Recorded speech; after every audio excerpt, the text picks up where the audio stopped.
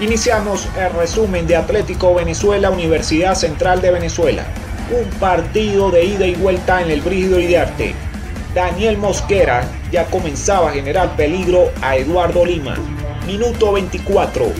Llega esta jugada dentro del área donde hay una clara mano de Giovanni Ramos y el principal, Marco Suárez, no lo piensa dos veces para decretar el tiro penal. Y en los pies del colombiano Daniel Mosquera, bombazo de pierna derecha al ángulo superior derecho de Lima, la UCB se colocaba en ventaja en el Brígido Iriarte. Interesante la información que comparte en su cuenta en Twitter Tomás Muñoz, comentarista en TVs. Tuvieron que pasar 33 años para que la UCB volviera a anotar en primera división. Isidoro Maita anotó el último gol en primera ante Pepe Ganga de Margarita. Minuto 50. Llegaría esta jugada donde le cometen falta a Gabriel Benítez y el principal decreta que hay penal.